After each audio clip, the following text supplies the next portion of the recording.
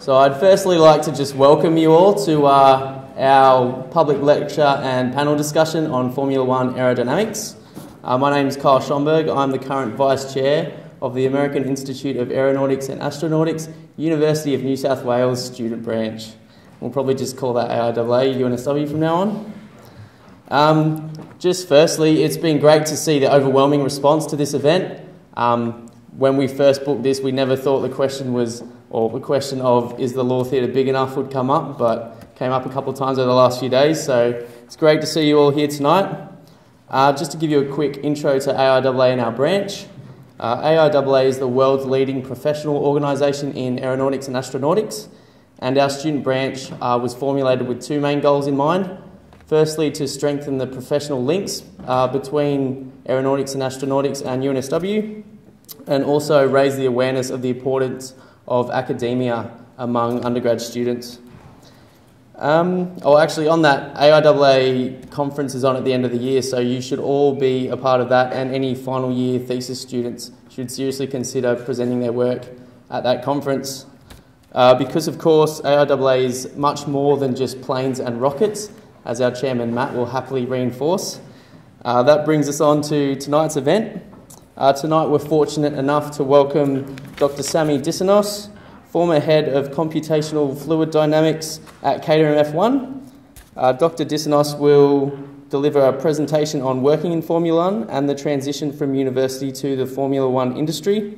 And after this presentation, we'll hold a structured Q&A session uh, with Dr. Diasinos in the panel, and joining him will be uh, Dr. Graham Doig and Matthew Cruikshank uh, to discuss current areas of research at UNSW in automotive aerodynamics and also how undergraduates can get placements and graduate jobs in F1.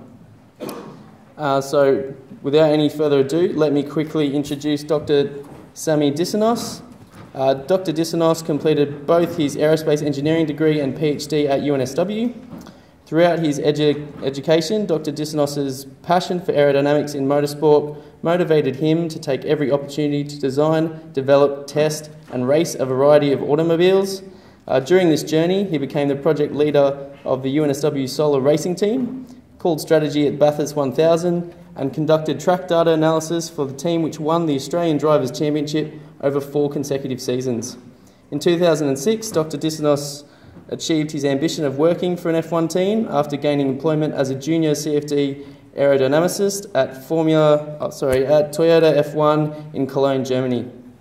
After a stint at the Williams F1 team and five years after commencing his F1 career, he was appointed the head of CFD development at the Caterham F1 team and eventually also took on the responsibility of being the wind tunnel special projects group leader with a, with a desire to commence applying his aerodynamic skills to a greater variety of problems Dr. Diasinos has recently decided to move back to Sydney to take on a role in academia, and he's current, currently a lecturer on uh, mechanical engineering at Macquarie University. Wow, that's a long bio. Uh, so please join me in welcoming Dr. Sammy Diasinos.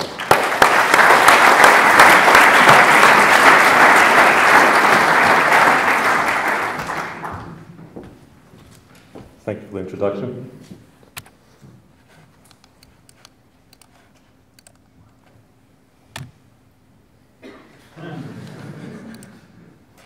Okay, we're good to go. Can everyone hear me all right?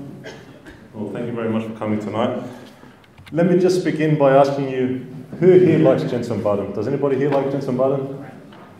Yeah, there's a few of you. You guys must be doing it pretty tough this year, eh?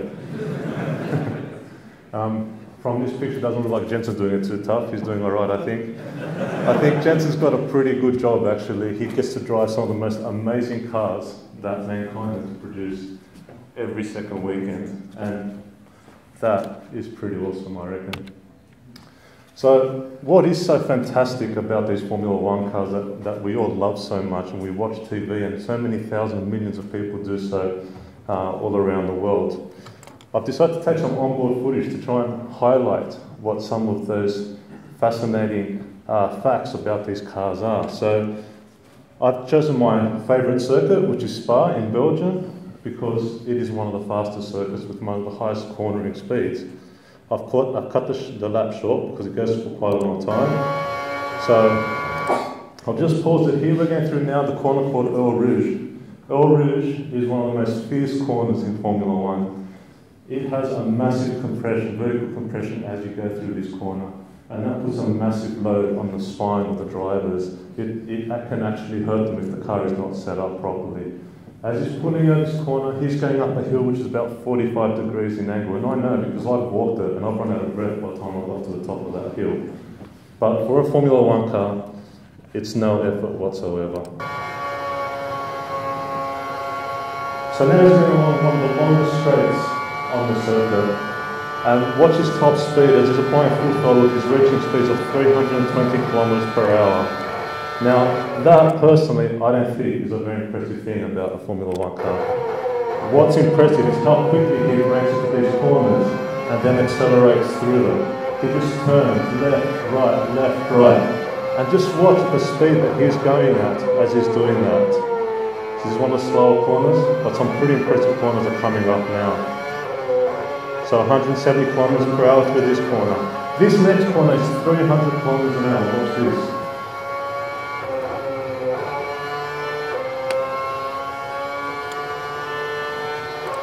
So what effect does that have on the driver? That has a quite a big effect actually. It means the driver has a huge lateral loading put on him. 4 Gs in under braking, 4 Gs in cornering. What does 4 Gs mean? 4 Gs means that a human head, which weighs about 6 kilos plus the helmet of 2 kilos, in total, when the driver is going through those corners and braking like that, he's trying to support the weight of 20 kilos on his head. And that's a pretty big load to be trying to withstand. So why is it possible for a Formula One car to do this? Is it because of this amazing engine that can generate 780 horsepower or six times the amount of a normal Corolla? Is it because of the weight, which is less than half of a normal Corolla? Is it because of the refined suspension, which is rock hard? Is it because of the disc brakes that glow red hot because they reach 900 degrees Celsius during the braking phase?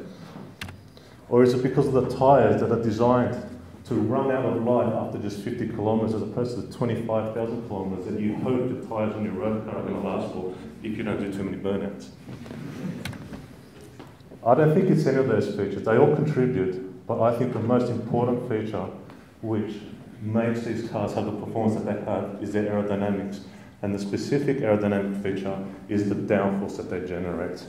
At 170 kilometers an hour, I haven't accidentally put this photo upside down, it's deliberately upside down. At 170 kilometers an hour, a Formula One car can support its own weight if it was driving along the ceiling. At 340 kilometers per hour, which is its top speed, it can support four times its weight in downforce. What does four times its weight mean? It means you could carry a Holden Commodore along with it, if that was a possible thing to do. So, you know, to jump into one of these cars and be a Jensen Button or be a Michael Schumacher or the video I'm about to show you be Mika Hakkinen, you have to be pretty crazy and you have to be pretty brave because sometimes you've got to take risks with these cars. And these risks sometimes don't pay off, but in this case they do.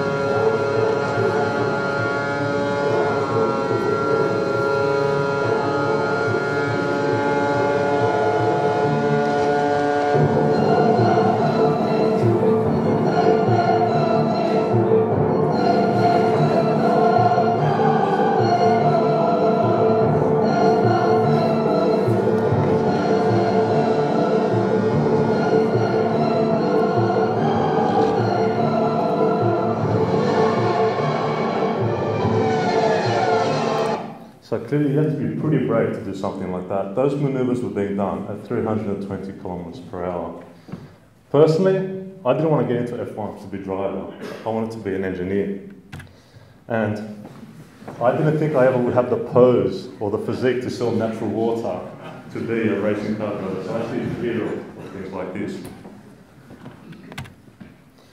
I wanted to be involved in Formula One because I felt it was the pinnacle of engineering. I felt that there was a lot of research being conducted here, especially in the 80s and 90s, which was very relevant for road vehicles, especially during that period. What you see in this video is an active suspension car, the FW14, one of the most advanced cars that have ever been built in Formula One.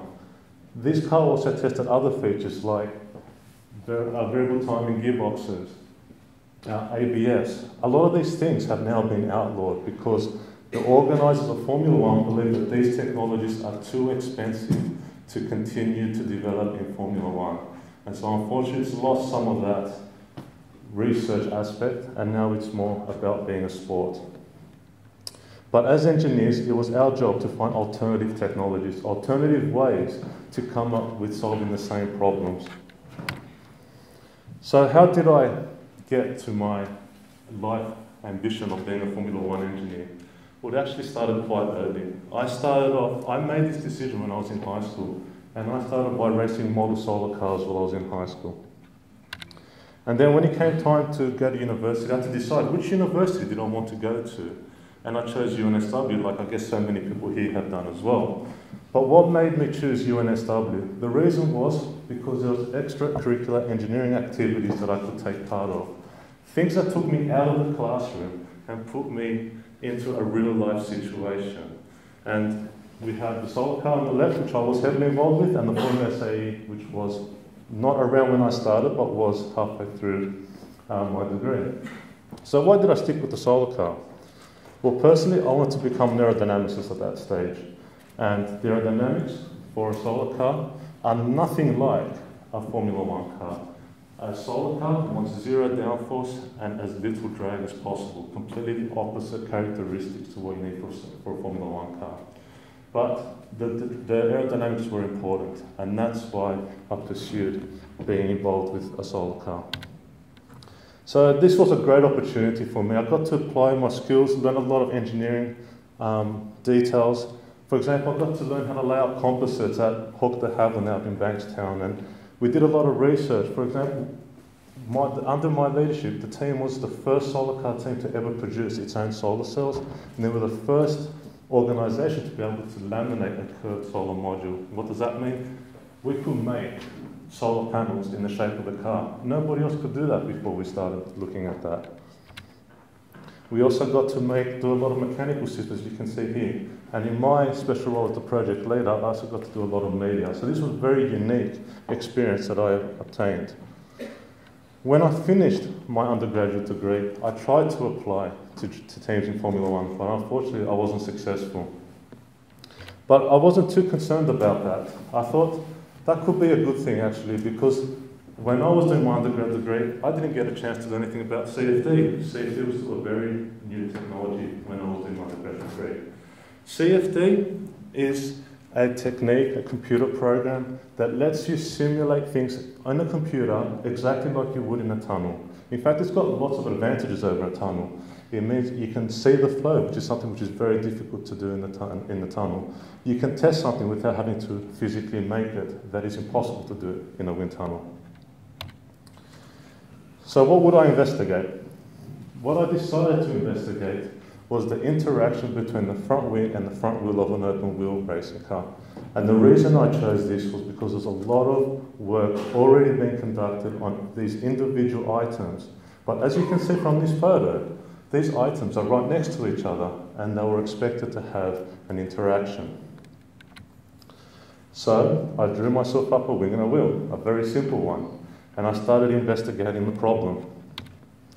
But any good CFD engineer should know that it's not right to use a CFD model without doing some sort of validation and to do some validation or to get some experiments that could compare my CFD to, I needed to build a wind tunnel because at the time we didn't have a wind tunnel with a moving ground.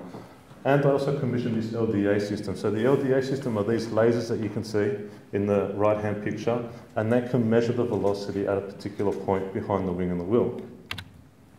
So once I was confident that my CFD model was working well, I then began to investigate different parameters associated with the wing and the wheel. And one of the things which I investigated, which turned out to be very, very useful in my later career, was the effect that varying the span across the face of the wheel has. Now, this was quite odd because at the time, in Formula One, you weren't allowed to have a wing which spanned much more than what you put in this bottom photo.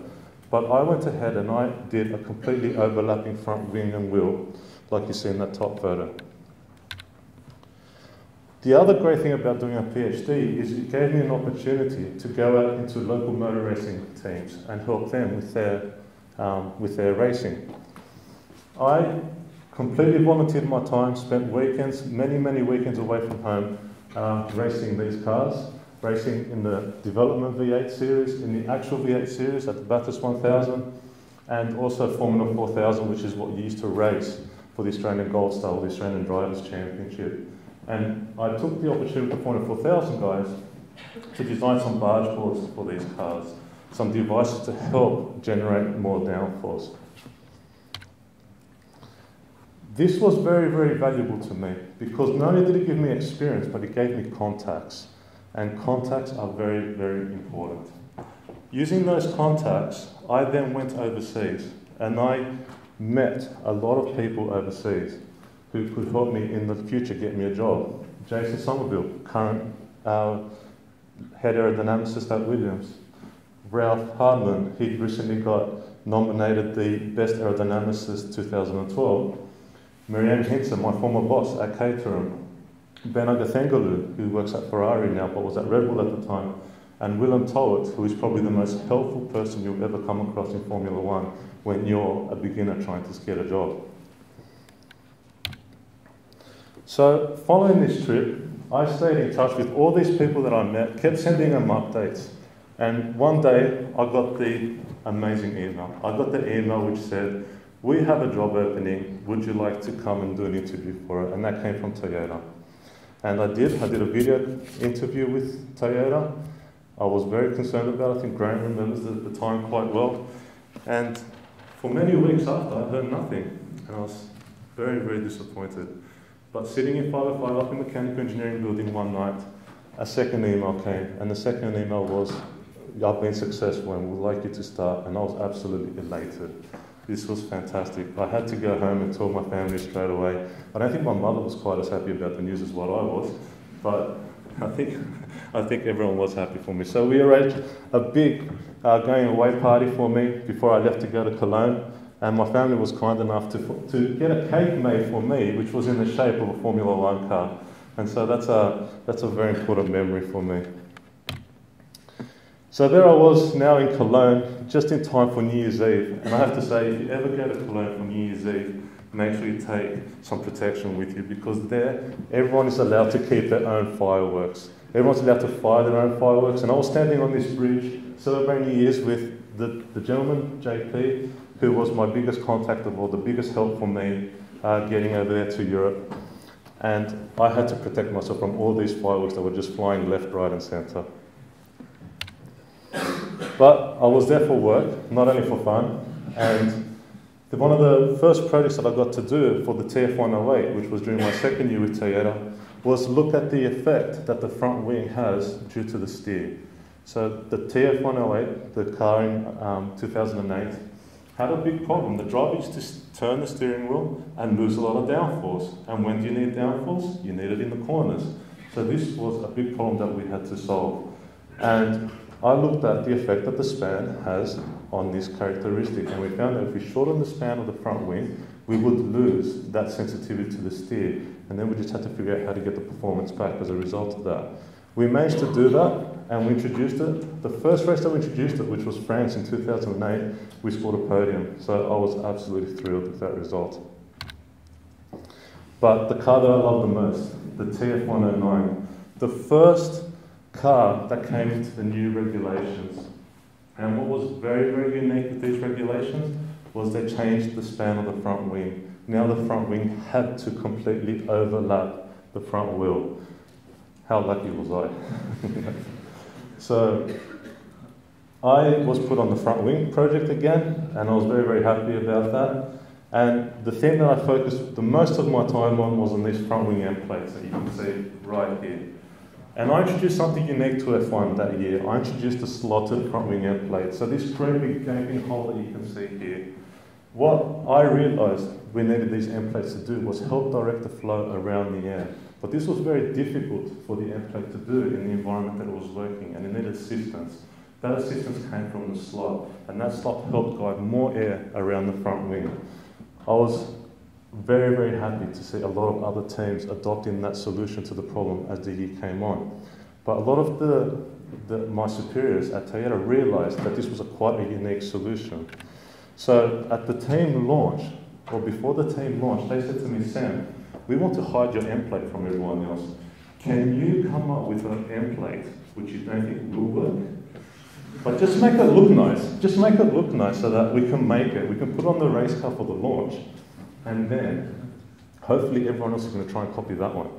And I said, all right, no worries. And I came up with this one here. And that's exactly what happened. We got a lot of media reports saying, look at how nice these end plates are. Aren't they really nice? Aren't they really pretty? But the crazy thing was, these were the real ones on the top, which were waiting for the first test. The other amazing thing was every time that car would come to the pits, I don't know if you remember, this car also had a double diffuser. So there was two unique things about this car, the double diffuser, which a lot of other teams didn't have, and these sort of front wing end plates. They would hang a curtain over the rear wing and cover the double diffuser, and they would put a great big box on the front wing to hide the front wing end plates. So that's my favourite car. But unfortunately, Toyota closed down after 2009. And this is something that, if you want to be involved with this sport, you're going to have to be willing to adapt to. And Jason Somerville, who I told you about before, he was very, very useful, helpful in this situation because he found out that I applied to Williams and he, that's the team he used to work for, and he personally rang them up and put my name forward for them to, to basically help me get the job. So things went okay at Williams, not very, very well, they went okay. I only was at Williams in the office for actually three months. Um, but in those three months, I introduced this device, number one in the top left picture, which is the undernose turning vane. That device helps guide the structures from the front wing to the rest of the car and put them in the correct position so the rest of the car can operate correctly. So after three months, I actually decided to go to Caterham, or what the team was then known as Team Lotus, because I got a really, really good offer from them.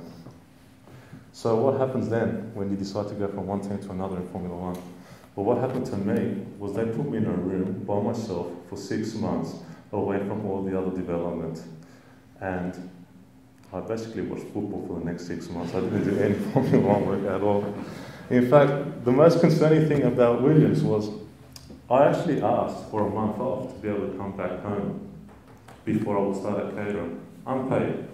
And they agreed to it. But on my last day, they sat me down with a room full of lawyers and they said to me, You are being released to go home to visit your family. If we hear you at Hawking Caterham, we're going to come after you. anyway, so that was Williams. but before I tell you about Caterham, let me tell you about these two guys. Do you guys know who these two guys are? Who's the guy on the left?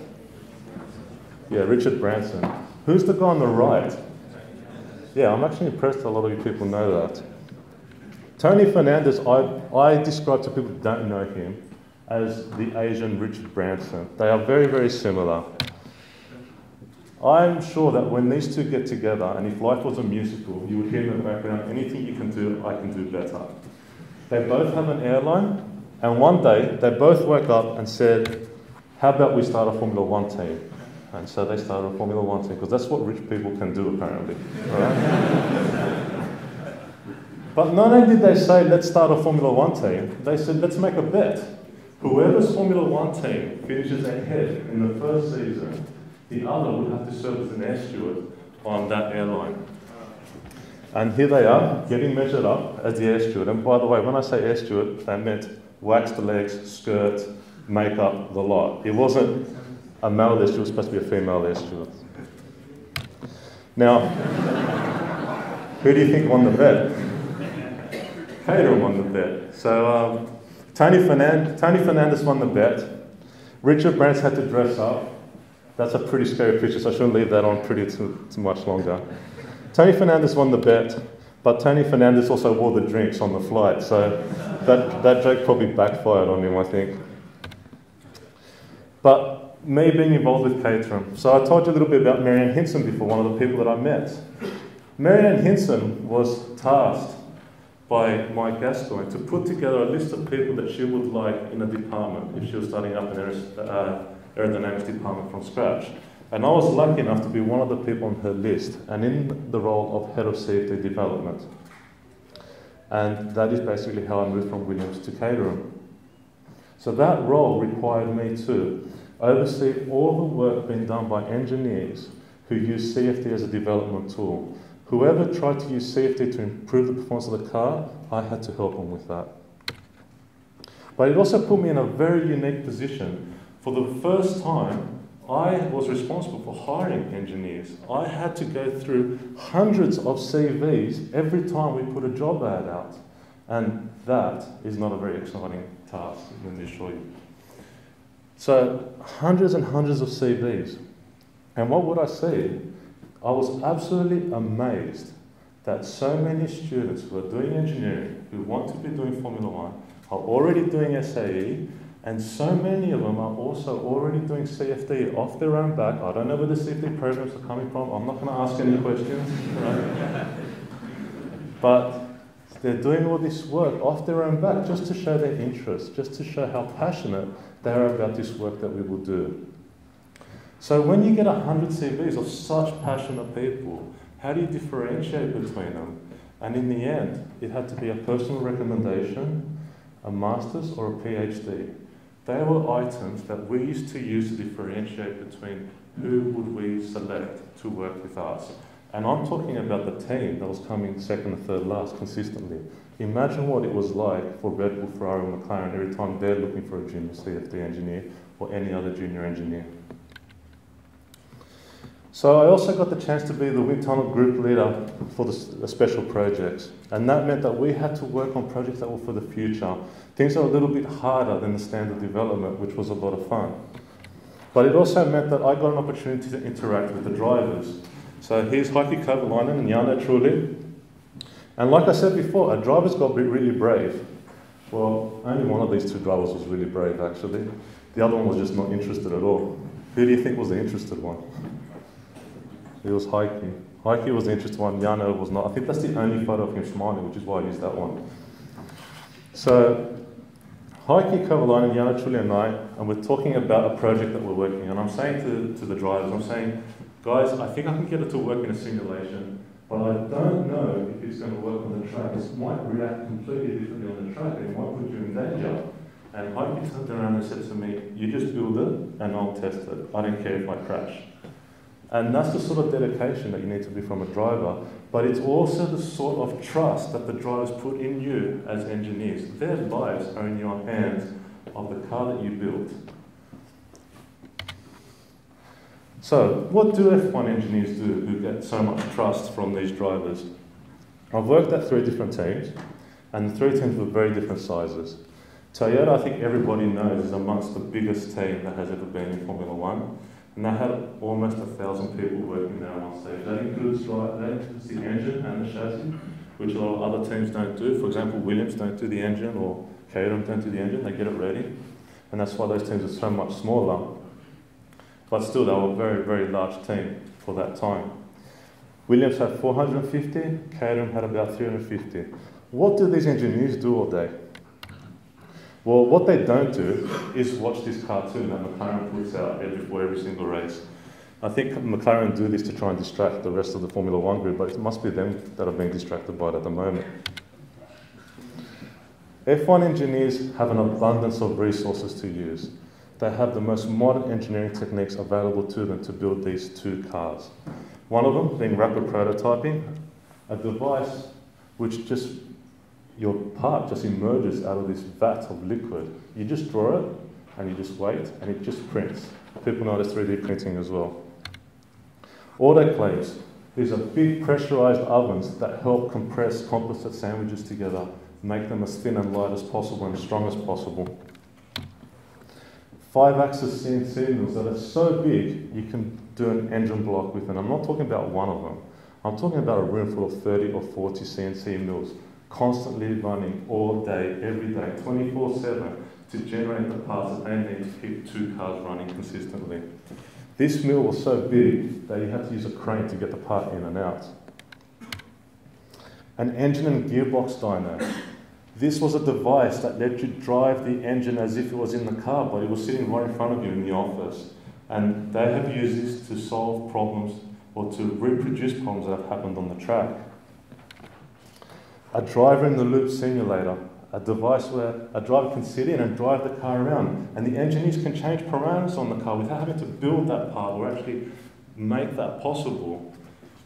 And the driver can give feedback about what that effect was like. A seven post rig, a device that shakes the car around so that you feel the effects that the bump have on the suspension if the suspension has been optimized. The biggest clusters available at the time, at least when I was there, over 4,000 CPUs running simulations consistently, and very complex wind tunnel models and wind tunnels. So, what do engineers do?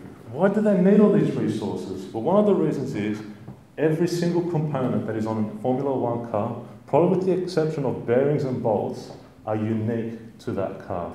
You won't be able to bolt this to any other car on the grid. Things like a monocoque or a carbon fibre gearbox case. There's no car on the road which needs these items. We specifically make it for that. And not only do we have to analyze and refine all these components, but we have to test them, make sure that they're safe, like we do in this crash testing. Make sure that when the driver has an accident, he's not going to be hurt. But sometimes we redesign too much. And what's the consequence of that? Well, um, Toro Rosso gave us a very good example of what the consequence of that is when you design too much. Um, yeah. But my favourite bit is the two wheels are missing and the driver's still trying to steer it. I didn't say they're smart, I just said they're brave. So you can see there's a lot of resources available to us. And what, how do we use these resources to make the car go faster? Well, I'll give you a bit of an example shortly. But these two cars are actually very, very different.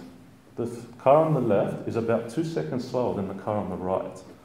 But they are still a Caterham, still a 2012 model, but the left one is slower than the right one. And why is that?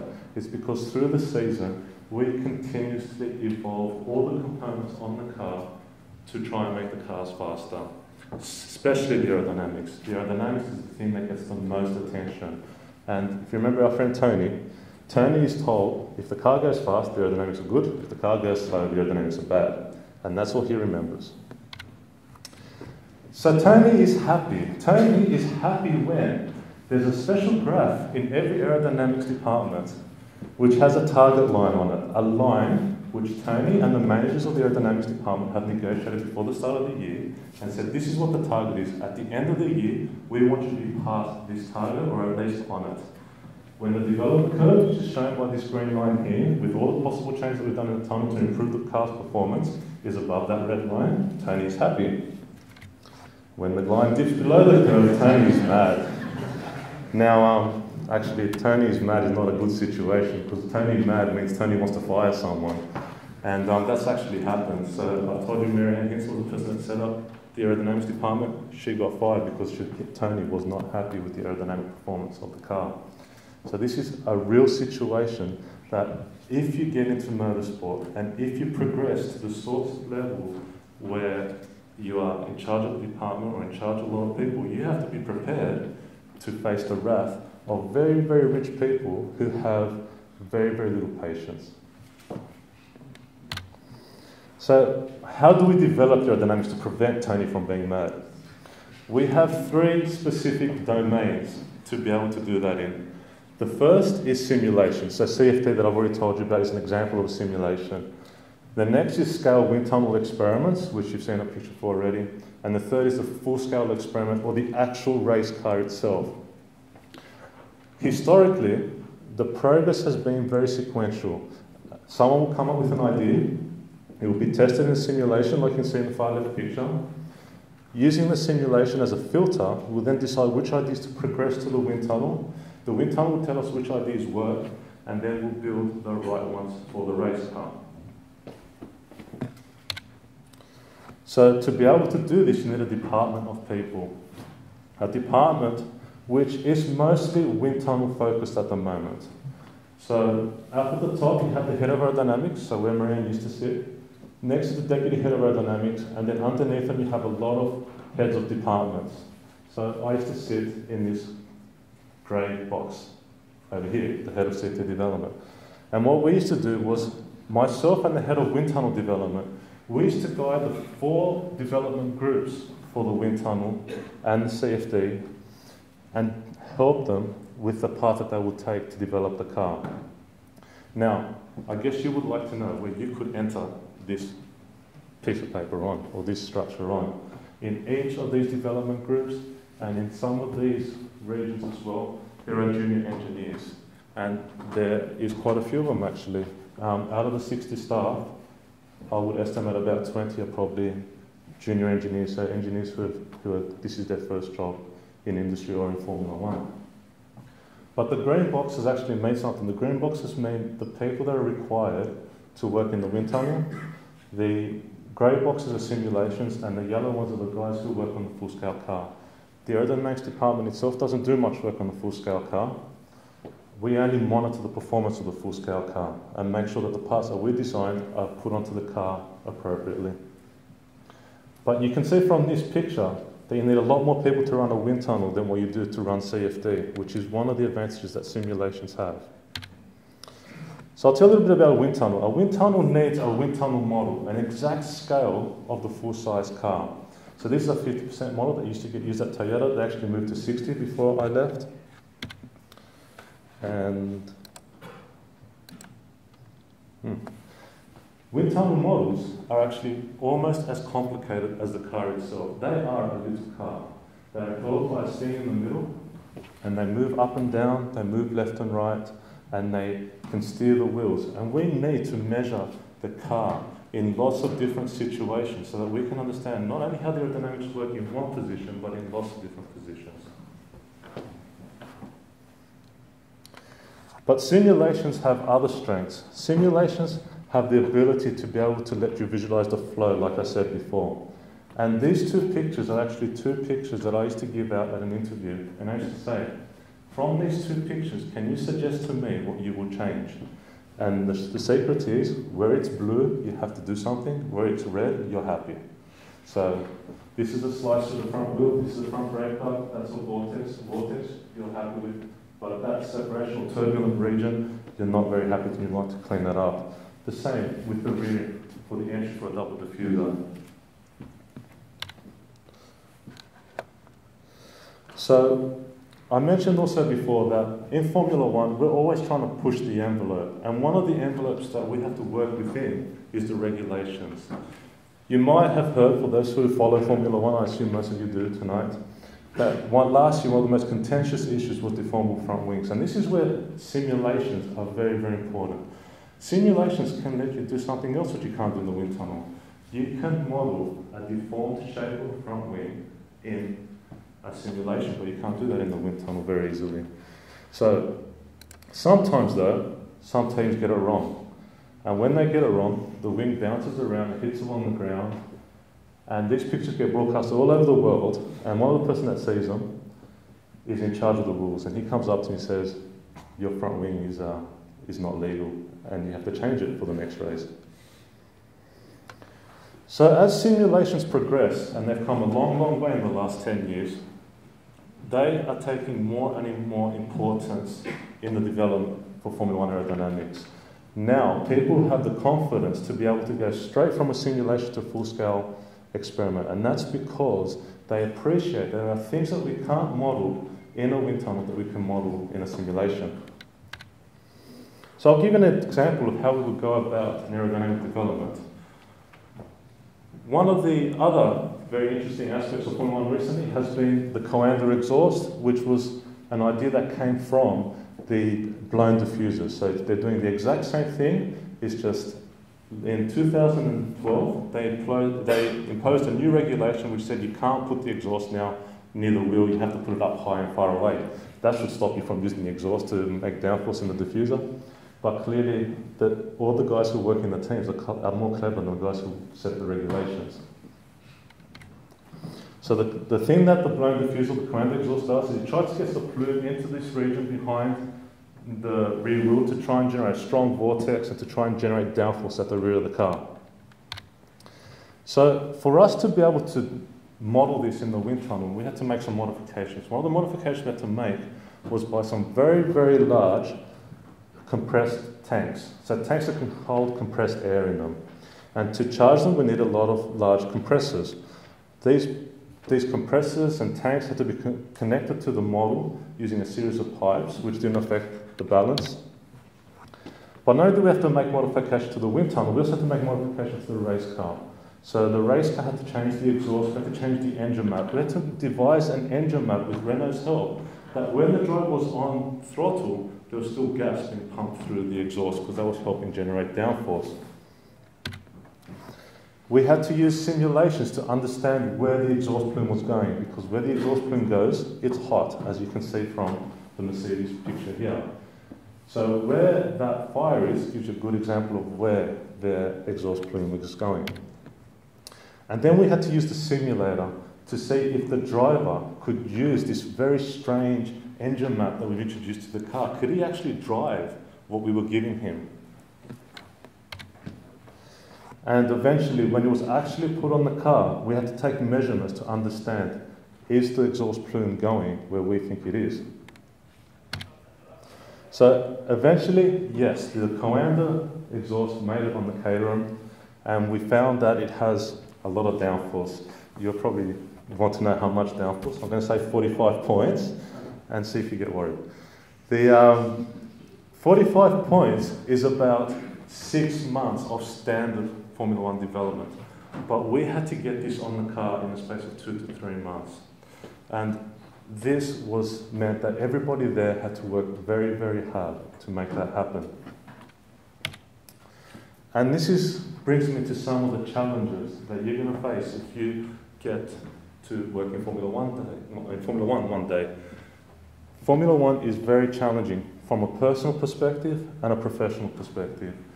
It's challenging from a, from a personal perspective because it is only in Europe. It is only in two or three countries. It's in three countries actually England, Switzerland, and Italy. And eight of those teams are all in England. So, first of all, you have to like living in England like Graham doesn't. It means that you have to be prepared to not live in a single location. If you get a call one day from Sauber for a promotion while you're living in England, it means you have to be ready to pack up your stuff and go to Switzerland. And that's something that you have to consider. If I want to be involved with this sport, as amazing as it is, am I willing to do that?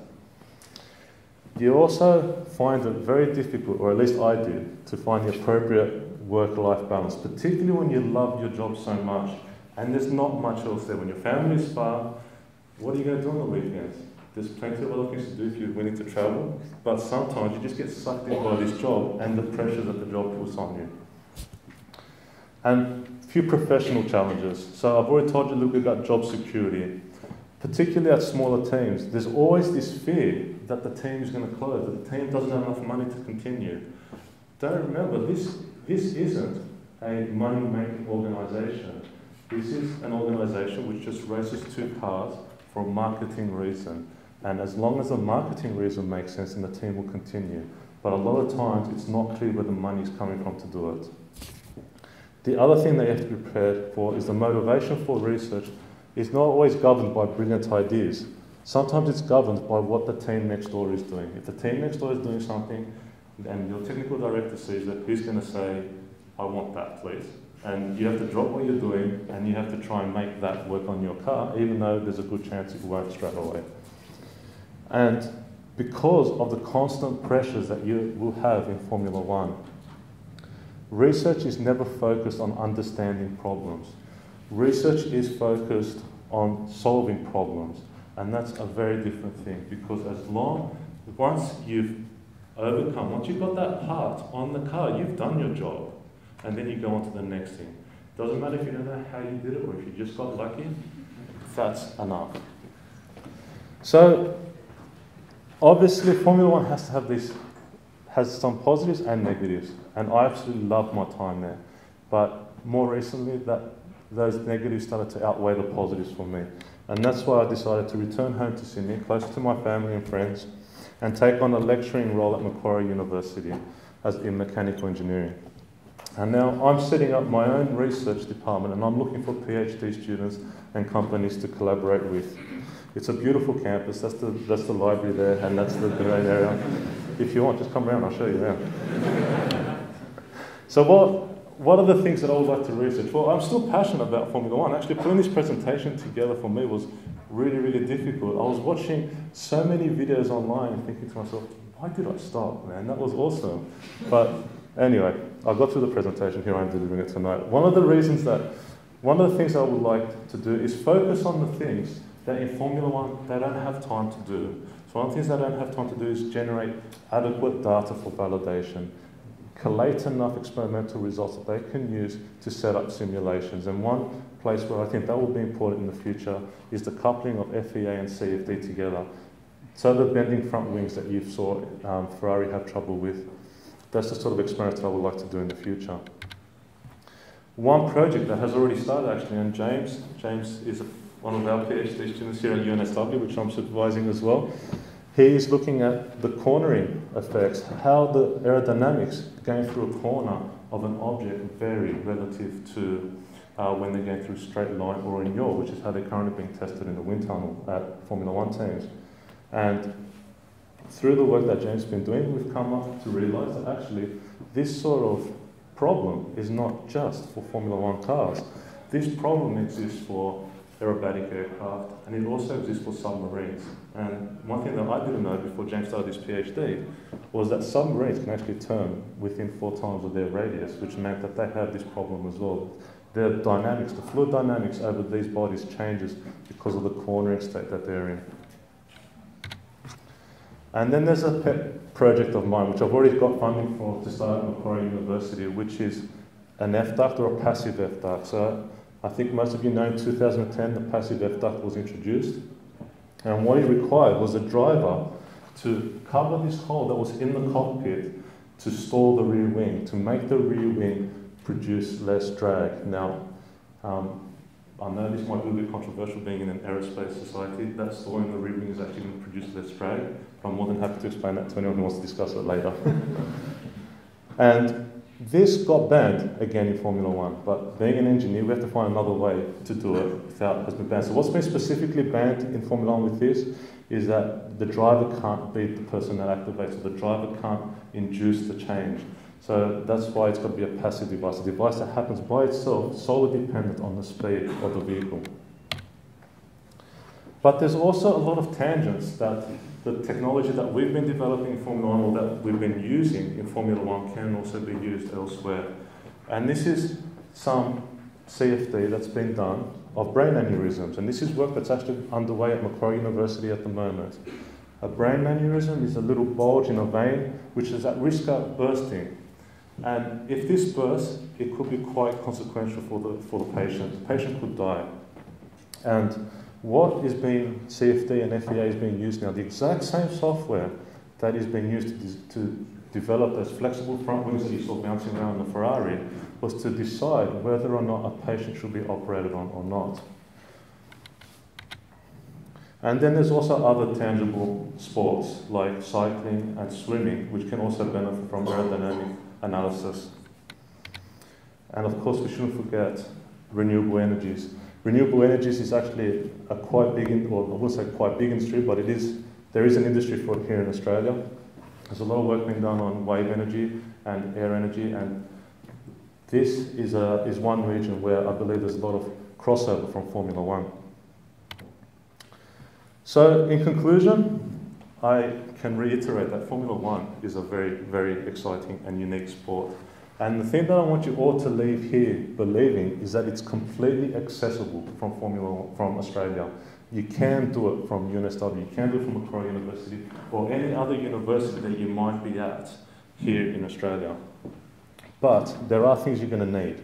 And those things are going to be contacts. Contacts are critical. Contacts that can give you contacts into F1 teams. That is probably the single most important thing that you need to be able to have a career in Formula One starting from Australia. But the thing you must appreciate is that contacts are only willing to assist you when you can demonstrate to them that you are making every effort possible to prepare yourself for such a role. And so you have to impress the contact so that the contact will pass on your name to the next person. And how can you do that? You can do that through extracurricular projects, through master's projects, and through PhDs. And obviously, that I believe is an excellent preparation for, um, for your suitability for, for Formula One industry. So, I've mentioned that I also have some need for PhD students in the future.